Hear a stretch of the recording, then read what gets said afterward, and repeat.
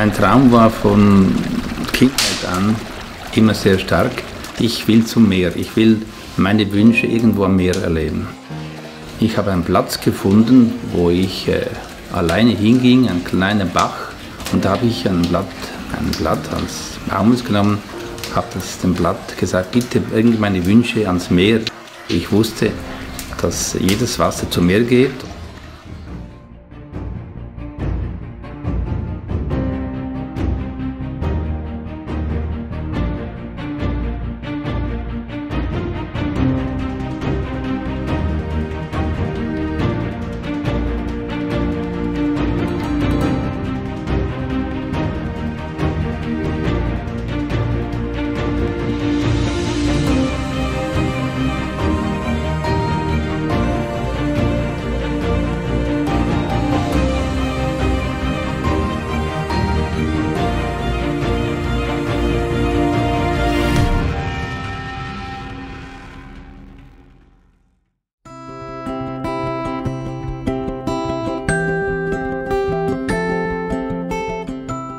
Heute bin ich glücklich und stolz, dass ich nach 29 Jahren, einigen Monaten sagen kann, ich bin immer noch vor diesem Feuer und immer noch selber voll Feuer. Als Kind äh, hatte ich Angst, äh, weil ich da was nicht machen kann, was ich tun kann. E quando ero piccola sarei voluta scappare da qui perché era il posto che comunque mi portava via il mio babbo, il suo tempo.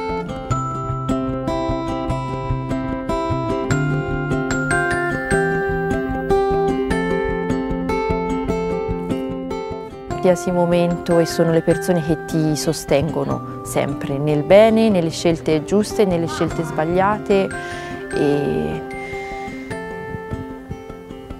sono felice di avere una famiglia così, molto.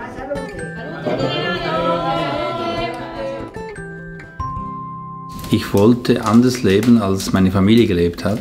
Ich wollte endlich mal ein bisschen, bisschen Freiheit haben. Und da kam der Wunsch, Ernesto, ich will weg, ich muss weg. Das kam immer stärker, das Verlangen, jemand zu sein, was zu erreichen, eben irgendwie Gefühl haben, was zu zählen, auf was ich äh, stolz sein darf.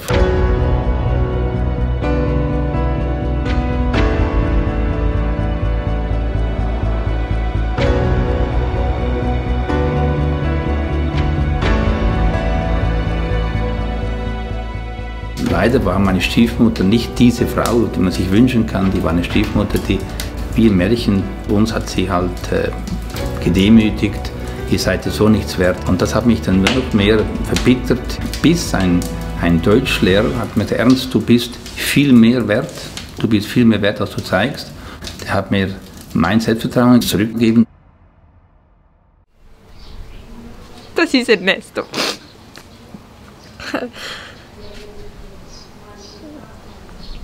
Weil ich habe viel äh, eine sehr spezielle Beziehung.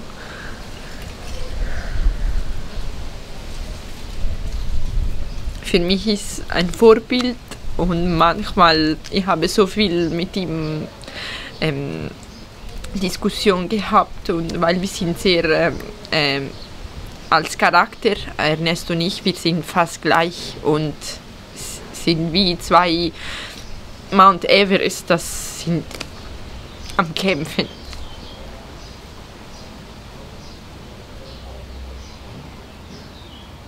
Und manchmal ich sage, dass ich liebe und manchmal ich sage, ich hasse ihn, weil, weil wir sind sehr, sehr, sehr gleich. Aber er hat viel für uns gemacht.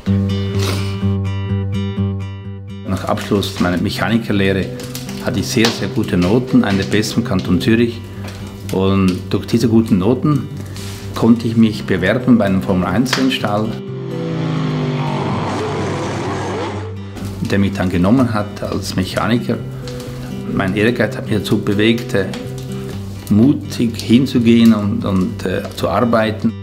Erste Rennen in Daytona Beach, der erste Sieg, das zweite Rennen in Sebring, der zweite Sieg. Und schon war ich als 21-jähriger Junger schon ein kleiner Star.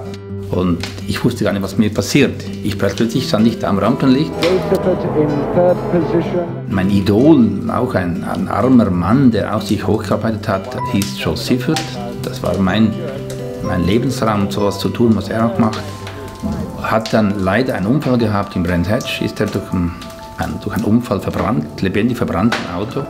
Ich habe gehört, dass ich im Auto saß in Genf, habe das mitbekommen, hatte einen Schock und plötzlich kam die Idee oder der Wunsch oder was immer, ich wusste nicht, was es ein Wunsch oder eine Vision oder was es ist, hat mir gesagt, du musst das Erbe weiterführen von diesem Joe Siffert.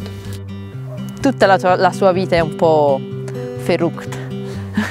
Der deutsche Team ATS hat gesagt, Ernesto, du kannst bei mir fahren.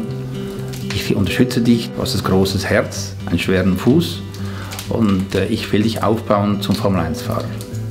Dummerweise ist dann dieses, auch diese Versprechung ging weg. Ich musste was tun, was mir wieder was bringt, was ich wieder jemand sein kann. Difficile eh, descriverlo perché è una persona così strana e particolare che non è facile eh, descriverlo. Comunque una persona molto caparbia, molto intelligente e anche ehm, è un esempio per me, diciamo, il mio babbo.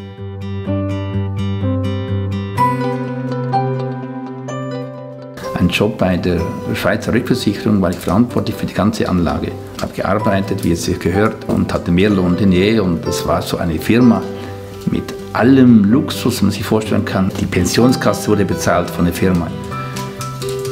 Ich äh, war traurig, weil ich dachte, es kann doch nicht sein, dass man so das Leben plant, dass man sich äh, einfach so hingibt und wartet, bis man pensioniert wird.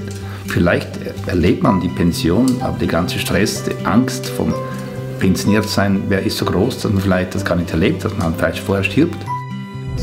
In your life, if you can wake up in the morning with motivation and, and, and trying to do 100%, I think is the best. Ich habe meinen Bruder gesehen, in meinem Traum, Tagtraum, ich habe nur gespürt, das ist was irgend Schlimmes. Da wurde er zum Untersuchen gebracht, ins Spital geführt und ein Hirntumor diagnostiziert. Und auf dem Weg ins Spital hat er gesagt, ich gebe mir ein Jahr Zeit. Ein Jahr Zeit zum, zum Verabschieden. In dem Lauf des Jahres, das ich da mit ihm begleitet habe, habe ich gespürt immer wieder, dass es neue Visionen gab und plötzlich sehe ich Massavecchia. Ich habe gesagt, ich in die Toskana. Ich kaufe ein Haus in Toskana. Ich weiß, wie es ausschaut, aber ich weiß noch nicht, wo es ist. Ich bin, werde Besitzer eines Hauses in Toskana. Ich wusste, dass ich zu wenig Geld hatte. Ich wusste nur, dass ich es mal tun muss. Ich wusste auch, wenn der Bruder stirbt, wenn er wirklich sterben muss, dann wird mich niemand aufhalten. Da werde ich ganz sicher gehen. Leider ist der Bruder wirklich gestorben, ein Jahr nachdem er ins Spital geführt wurde. Und ich war dabei, ich habe ihn begleitet, den Tod. Er hat die Fähigkeit gehabt, Menschen zu trösten, obwohl er der Mann war, der am Sterbebett liegt.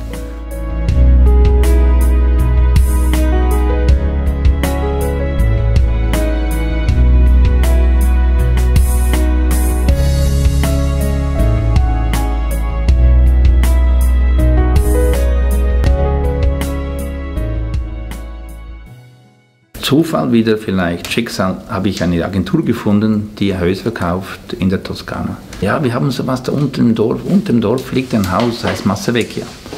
Ich, äh, ich habe genau gesehen, wie es ausschaut. Ausgestiegen, das ist es. Es war das erste Haus, das erste, was ich gesehen habe. Das ist das, was ich gesucht habe, das ist das, was ich gesehen habe. Ich muss es haben.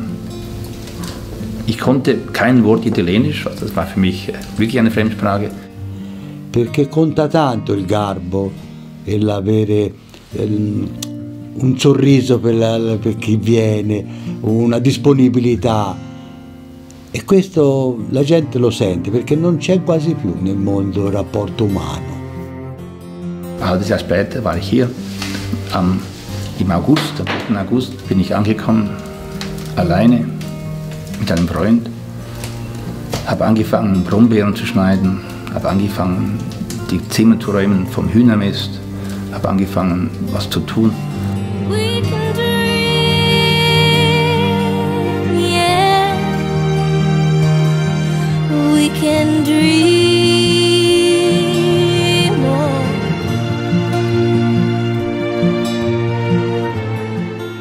Auf jeden Fall, das ist unglaublich, aber trotzdem, es ist so, ein halbes Jahr später, Anfangs März, habe ich das Masweki aufgemacht.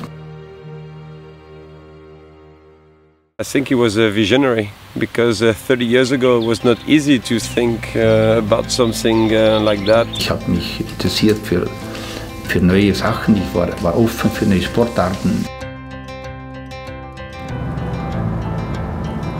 E per me è un datore di lavoro molto particolare perché eh, siamo riusciti a realizzare insieme dei, dei sogni comuni.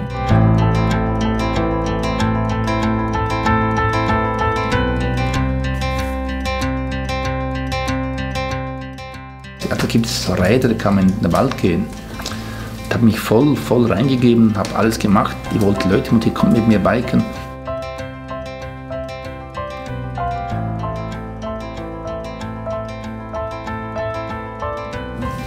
Mein Glück kam Thomas Frischknecht 1990 das erste Mal zu mir. Als 20-jähriger junger Rennfahrer, war schon Weltmeister irgendwie und wurde sogar Weltmeister im Biken. Er war, halt, war hier bei mir und hat sich dann irgendwie wohlgefühlt und hat sich äh, eine Freundschaft entstanden. Ernest, ich helfe dir, ich helfe dir, das ist gut, was du machst und ich helfe dir, die Touren, mehr Touren machen muss, ich helfe dir und so.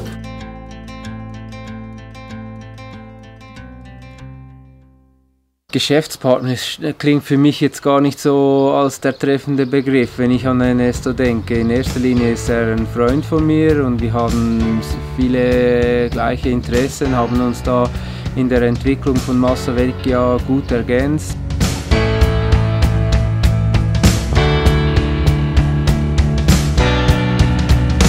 Ich habe plötzlich gemerkt, dass Mountainbike ist doch ein Sport, der mehr Leute begeistern kann.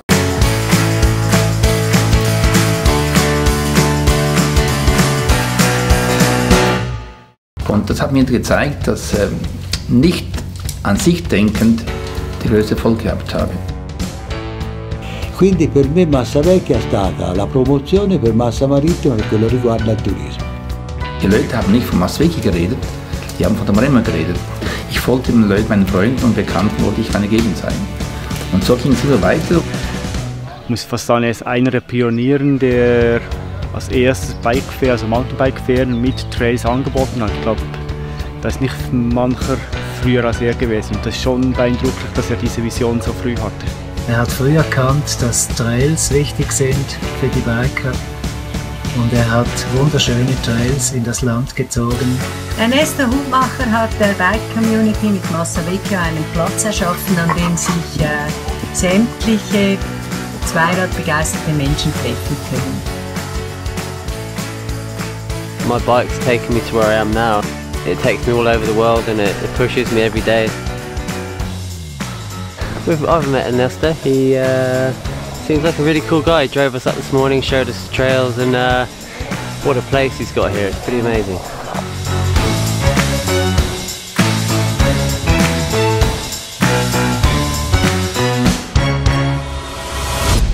Massa Vecchia ist, ähm, hat einen ganz besonderen Spirit. Es geht, ähm, alles dreht sich da um Mountainbike, um äh, das äh, Lebensgefühl Mountainbike.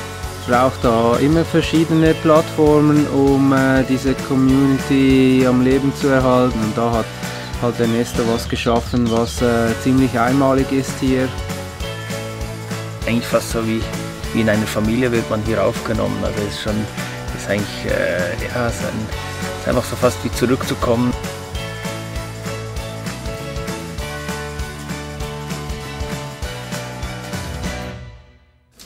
Ich will Emotionen verteilen, ich will Emotionen leben, genießen. Das ist mein Luxus.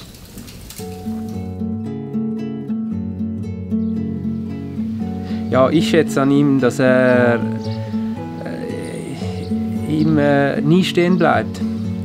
Dass er immer vorausschaut und sich immer weiterentwickeln will. Oder nicht sich, sondern Massa Vecchia und, und das Mountainbiken hier in der Toskana weiterentwickeln will. Er bleibt nie stehen und äh, macht immer vorwärts. Das, dieses Rad, das dreht und dreht.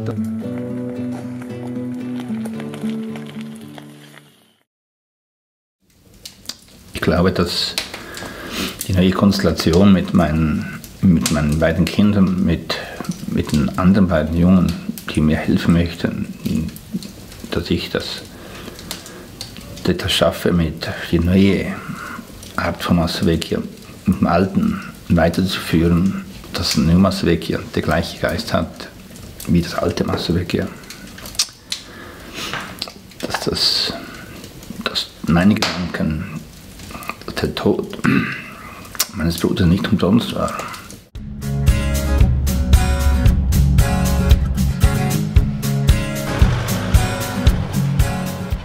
Is a family that is behind Massavecchia that drive this place to be the special.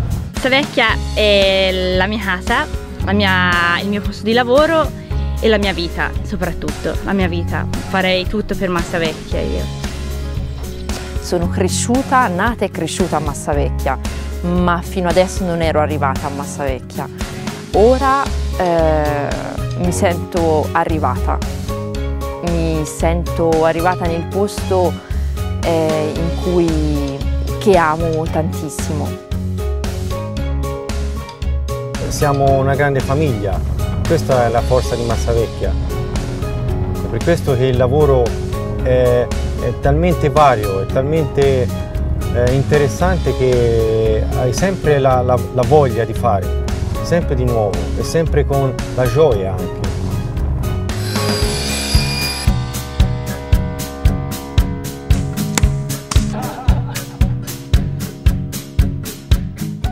Massa Vecchia ist uns sehr stark ans äh, Herz gewachsen und es äh, ist in dem Sinn kein, kein für mich sehe ich sehe das nicht als, als Business oder als Geschäft, sondern das ist mehr eine, eine, eine schöne Sache, die wir da zusammen haben und äh, äh,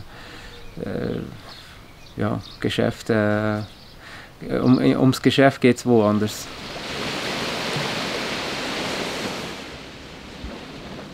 Ich bin älter geworden und habe das Gefühl, dass ich jetzt angekommen bin, weil ich jetzt glaube, durch all die Umwege, nicht am Endziel, aber ich bin angekommen, das ist, was ich sage, im Leben angekommen bin.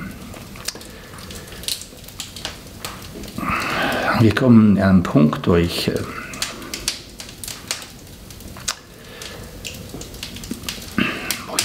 wo ich, weiß, dass äh, das Leben auch ohne mich weitergehen sollte.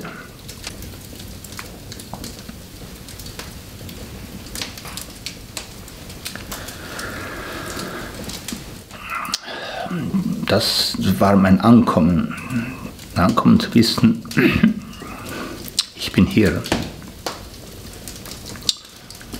Ich bleibe hier.